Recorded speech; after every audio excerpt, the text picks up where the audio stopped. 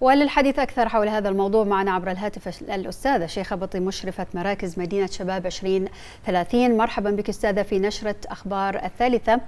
حدثينا عن الأهداف العامة للبرنامج وكيف أجريت عملية الانتخاب وكذلك التصويت في برنامج صوت الشباب. آه مساء الخير. آه طبعا يهدف برنامج صوت الشباب بشكل أساسي. آه إلى رفع مستوى وعي الشباب بالحياة السياسية في مملكة البحرين أصول العمل البرلماني تعزيز مفهوم المسؤولية والشراكة والانتماء الوطني كذلك نسعى إلى ترسيخ ترسيخ قيم المواطنة بحريننا. نعم. طبعا كل ذلك كان من خلال مجموعة من الورش حول مجلس النواب، اللجان العاملة في مشاركة المرأة السياسية والتعريف بشروط العملية الانتخابية. كذلك ورش حول خطوات الإعلان عن الترشح وإعداد البرامج البرنامج الانتخابي.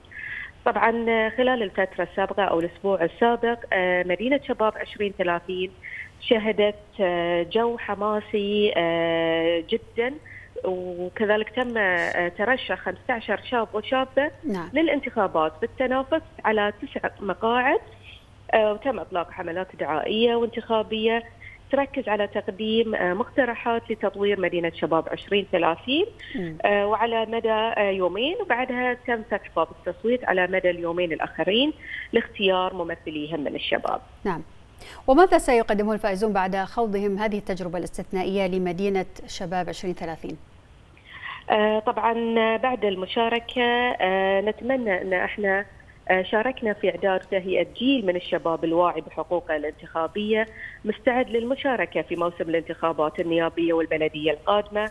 كذلك قادر على أنه يشارك ويمثل الشباب البحريني داخل وخارج مملكة البحرين وبآرائه وأفكاره وإبداعه.